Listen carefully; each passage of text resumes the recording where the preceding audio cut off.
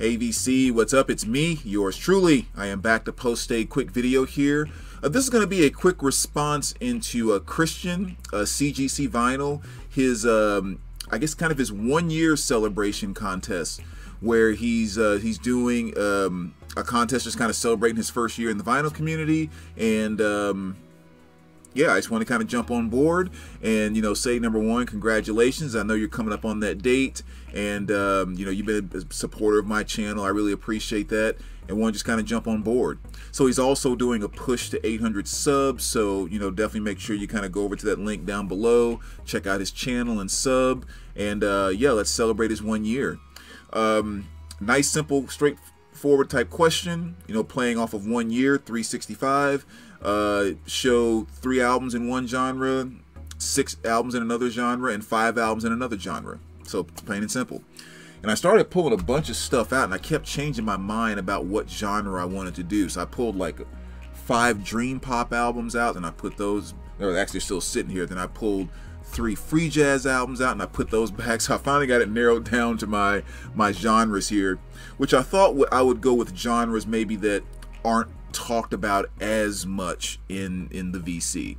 So uh, let me start off with my first genre with three albums, and it's going to be some of my favorite uh, African artists.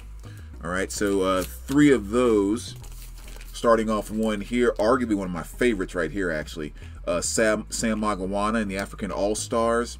Uh, there's a big long history of this album with me, you know, going way back to me being you know, kindergarten, first grade with my dad and the whole nine. Because my dad's is a first generation from Africa, um, and so yeah. So this album, number one, has a ton of meaning to me, and it's just the songs and stuff on here just got drilled into my head when I was a kid, and I love, love, love this album.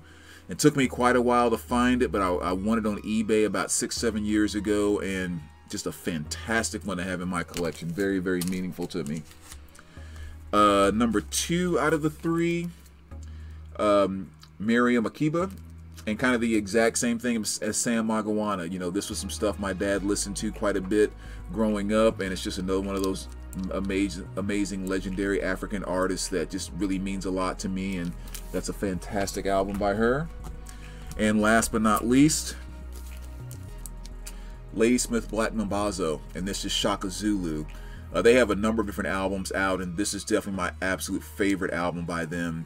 Um, a lot of you probably will know them if you're not, you know, into African music or whatever, but you'll probably know them as like all of the the background African vocals that you heard on Paul Simon's Graceland. All of that was uh, Ladysmith Black Mambazo. Um, you know, just a, an acapella group about anywhere from you know 11 to 13 guys, and just I mean, just amazing, amazing performers, singers, the whole nine. I actually took my parents to see them in concert one time, and it was just fantastic. So that's definitely one of my favorites right there as well. So that's three from my, um, it's in my world category, reggae slash world, but you know, three of my favorite African artists. So then with the six, another genre I think that doesn't get quite enough love in the VC is going to be 80s R&B. All right, so that's what I'm going to show here. So we'll start off with one of my absolute favorites from that, that time frame, which is Ready for the World. This is their self-titled album from 1985, and just so, so, so many amazing hits on this album. Um, you know, definitely some slow jams on here, but then also kind of some more upbeat 80s dance type of stuff. But just such a, a, a cool, cool you know, kind of the electronic drums and the the synth and bass grooves and all of that. But you know, stuff like Tonight, Digital Display, Deep Inside Your Love, Slide Over, just jam after jam after jam. And probably the biggest hit that most people will recognize off of this album, which is the song Oh Sheila. So uh, yeah, just I mean that's just one of my absolute favorites. So that's one. So number two from 80s R&B we're going to go with one of the legendary bands, in my opinion, from that time frame, which is Cameo. So many albums you, can pick by them. I just decided to go with She's Strange. Um, you know, Cameo is the band that I always described as being one of the most rock and roll R&B bands, especially throughout the 80s, that just kind of, you know, they had silliness, they had funk, they had you know, just they just kind of did whatever they wanted to do. It didn't have to make sense. It was just what they felt and what they produced. Uh, that's just kind of what you got. Now, most people that aren't into them will still kind of know them with, you know, songs like Word Up was, you know, such a gigantic uh, kind of commercial hit, not on this album, but uh, by the band. But yeah, this kind of early to mid 80s stuff by them is just where to me they were golden. And this is 1984. Uh, so songs like She's Strange or their album that came after this with things like Single Life and uh, Attack Me With Your Love and just all kinds of jams my boys right there. So that's Cameo. Next, we have Cherrelle, who is definitely one of the the big female artists in kind of that 80s um, R&B category. Uh, she did a lot of duet stuff too with Alexander O'Neal, who was also someone that was fairly fairly big during that time frame, at least in the 80s R&B realm. And Alexander O'Neal was actually the lead singer of the time before he left because Prince was kind of exerting too much control. So Alexander O'Neal left, and that's when Prince brought in Morris Day to uh, front the time. So her and Alexander O'Neal, they both had their individual careers, put out great individual albums, but they would always just kind of do duets on each other's stuff. And so, uh, you know, this is kind of a great example. You know, she had awesome dance hits like You Look Good to Me. Uh, not on this album, but on another album, she did a cover of uh, "I Didn't Mean to Turn You On," which was a, a pretty cool. And then, of course, uh, the song "Saturday Love," which was the duet she did with Alexander O'Neal on here, is one of my absolute '80s slow jams there as well. So, just again, one of my my favorites from that time frame. Another one here, Five Star. Again, one of those bands that wasn't necessarily huge and that type of thing, but I remember the videos on Video Soul coming on all the time and the big hit they had on here which was Can't Wait Another Minute just kind of another you know kind of 80s R&B dance type of thing. And it was just one of those songs that that made uh, childhood kind of great. So uh, that's another one. And I think we got two more here for the six. Uh, Jesse Johnson Revue another really good album here. Again Jesse Johnson was the guitar player for the time. So after the time kind of broke up, this was his, I think it was his first solo album that he did here. Uh, no gigantic, gigantic hits off of this, but my favorite song is definitely probably Be Your Man. Uh, this came out in 1985, so, you know, again, another cool one there.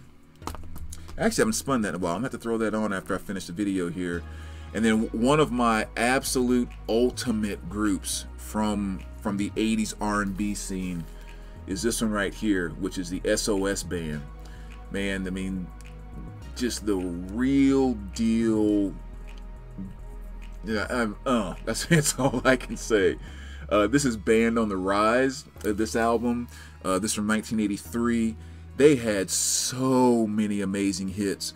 Uh, and again, if you haven't, if you don't really know them, the two songs you've probably come across at some point in time is um, uh, take your time you know baby take your time do it right.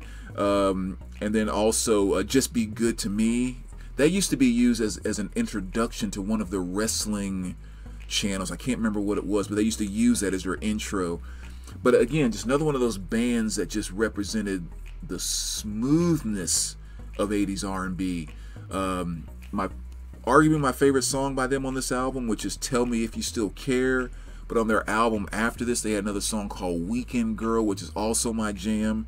I mean, just, uh, again, so much great stuff. So, so those are kind of six from the 80s R&B. And then another genre I thought once again that doesn't get a ton of love that I would show for my five, smooth jazz. Okay, I mean I've, I've always been a big fan of smooth jazz and the first album that brought me to jazz period. Before i ever really discovered my coltrane miles davis and all that stuff the first jazz album that i ever bought and liked and listened to on the regular was kenny g live. And still to this day i, I love this album. I mean not ashamed to say it i am a fan of kenny g without question. And um, and this album again was the very first one that i ever really loved. And pretty much every song on here i think is just fantastic I mean, yeah, it's it's elevator type of music. You know, it's smooth jazz. It's It's predictable, very easy to access jazz, but Kenny can play. I mean, the boy's got skills, and from a a, uh, a um, you know, it's just good stuff. That's all I'm just gonna put it that way. So great smooth jazz album there. Another one which can kind of fall under smooth jazz and also maybe a little bit under the R&B scene, but you know George Benson kind of played around a lot of different different plates there. But uh, this is "Gimme the Night," you know, yeah, just probably my favorite George Benson album uh, with classics like the song "Gimme the Night." I mean, just um, again, amazing artist, amazing album. Uh, another one, probably like, who the heck is this? But Jim Horn, Neon Nights. When I first got into jazz, I remember I was digging through a CD bin and I found this CD. It was only 50 cents. And I thought, oh, that's a guy with a sax, you know, I'll check it out. Why not? It's only 50 cents. I remember buying it and I was, you know, listening to it and I was like, that's a free, a good freaking smooth jazz album. So then years down the line, I actually stumbled across a nice promo copy of it, a gold stamp promo, and was able to pick it up. But again, your your late 80s, mid to late 80s typical smooth jazz stuff right there. And the last two, Najee here, and this is Day by Day. Uh, same thing, just, you know, the pretty much sounds exactly like the cover looks. but uh, just another very good smooth jazz artist that I got into about maybe six years ago, seven years ago, or something like that. I've picked up a few of his albums here and there, but just some more stuff that I really like. And last but not least, this is one that has to go on any smooth jazz list, which is Chuck Mangione Feels So Good, which, uh, especially being a smooth jazz song that I think kind of topped the pop charts as well. But um, really is just kind of a, again a smooth flow to that song. Like I mean, the name of it actually fits it really good because it is just a a feel so good kind of song.